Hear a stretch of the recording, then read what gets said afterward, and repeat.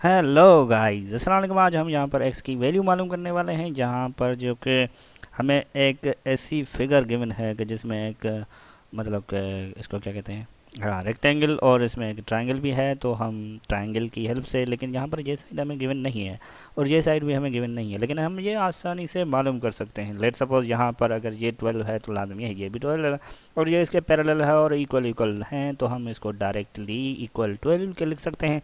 लेकिन रहा मसला इसका कि ये पूरी लेंथ जो है हमारी थर्टीन है, लेकिन हमारे पास इसके सामने अगर देखें तो हमारे ये एट है।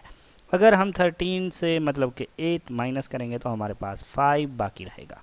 तो ये एक यहाँ पर ट्राइंगल अब बन चुका है। यहाँ पर अगर देखा जाए तो ये 90 के एंगल है, हमारी ये साइड अब ये साइड यहाँ से मतलब इससे ऊपर जो ये साइड है, ये 15 की सॉरी फाइव की है। और यहाँ पर ये जो साइड है, हमारी ट्वेल्व की है। तो यहाँ पर हम पैथागोरस थ्योरम यूज़ कर सकते हैं। एज यू नो दैट ये तो सबको पता है, आपको, मुझे और सबको। तो मैं ये लिख लेता हूँ कि एच स्क्वायर इक्वल में होता है हमारा मतलब कि बेस का स्क्वायर और प्लस में हमें परपेंडिकुलर स्क्वायर लिखना होता है। लेकिन एच हमारा कोई नहीं। तो इसको हम एक्स स्क्वायर लिख लेते हैं। और यहाँ पर हमारे पास जो बेस है, चलो लेट सपोज़ हमारे पास बेस है ट्वेल्व तो हम ट्वेल्व का स्क्वायर कर लेते हैं। प्लस में हमारे पास है फाइव फाइव का स्क्वायर कर लेते हैं तो हमने कर लिया फाइव और एक्स हम इक्वल कर लेते हैं, क्या, किसके? हाँ जी हाँ बताइए, जल्दी जल्दी। एक्स स्क्वायर हमारा हो जाएगा एक्स चालीस कहते हैं, शायद फोर्टी फोर कहते हैं प्लस में ट्वेंटी फाइव और ये जब हम ऐड करेंगे तो हमारे पास आंसर कुछ ये आ जाएगा।